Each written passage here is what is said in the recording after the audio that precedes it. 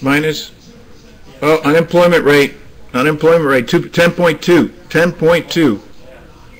Yes, the spreads are too wide, Bill. Ken, don't touch it right now. Spreads are too wide. I, I, it's hitting the levels we want, but it's wait for the spreads to calm down, guys.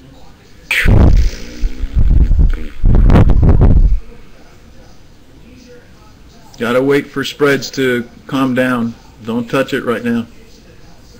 Euro yen is hitting our levels. We just can't do anything until, yeah, unfortunately, until it comes down with these spreads. Here the spreads tightening, but now we're at a level we don't want it. Ah, uh, gosh. they just wouldn't let us get in on that. yeah, I know. But but you saw how well that 133.80, uh, uh, uh, 132, uh, 133 area was. It's just just couldn't do anything with those spreads.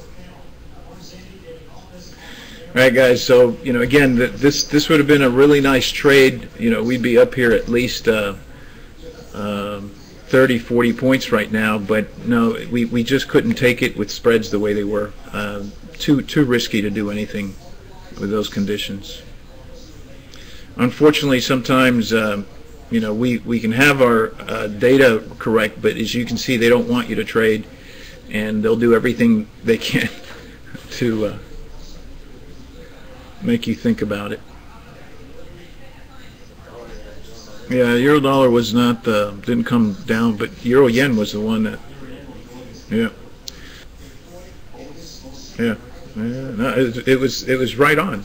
The, the problem was, is come on, spreads, get better, get better, get better, get better. Come on, don't, come on, come on, get better. And then when it does get better, we're already too high. Yeah. I think we'll get a market sell-off, and like I said, definitely the yens are the ones that are going to get stronger uh, with unemployment rates that high.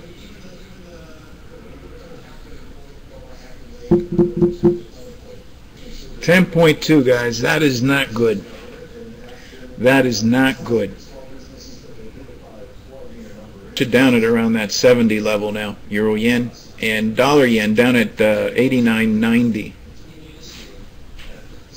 I'll tell you what, what, what's holding me out is is the fact that I'm still weary that if I get stuck here, I don't want to get stuck with a price that I'm not really really excited because I was ready to start uh, getting in in the 80s on this euro yen, but just don't want to be stuck